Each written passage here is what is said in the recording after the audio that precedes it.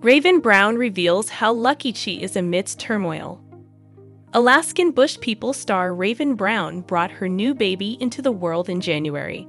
However, things have gotten tough for Raiven since that delivery.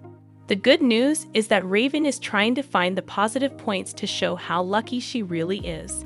Here is what Raiven has said about her recent luck and why she is still a lucky woman. Alaskan Bush People star Raiven Brown hasn't had a good past few months. She reunited with her husband Bear Brown late last year, and he was there when she delivered their baby boy Cove.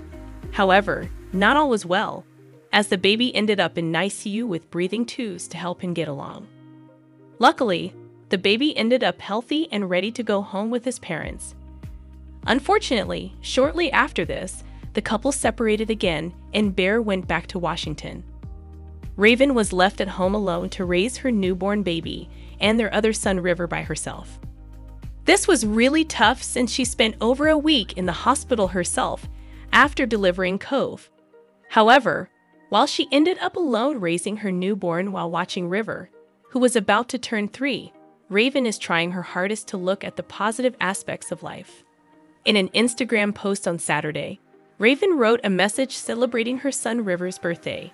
She then followed it up with a post about how her life has been going lately. I'm so thankful on these sleepless nights. All I can think about is how lucky I am to be tired with my rainbow baby and toddler, she wrote. Remember, Raiven suffered through a miscarriage after River and before Cove. This means that despite the hard pregnancy and difficulties after his birth, Raiven delivered a healthy baby boy.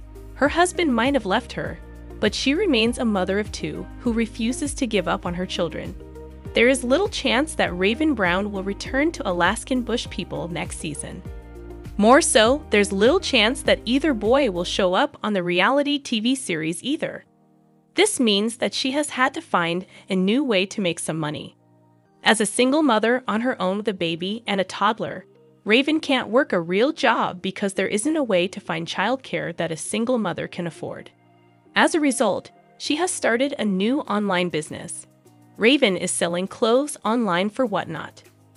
She has been successful as well, as one of her recent sales saw her sell everything by the end of her time online. It has given Raiven a chance to help support her family and not have to rely on Bear Brown or Alaskan Bush people money to raise her family. What are your thoughts on Raiven Brown and her recent positive outlook on life? Do you think she has finally finished with her struggles with the Alaskan Bush people family? Let us know your thoughts in the comments below. Thanks for watching this video. Please subscribe our channel. Thank you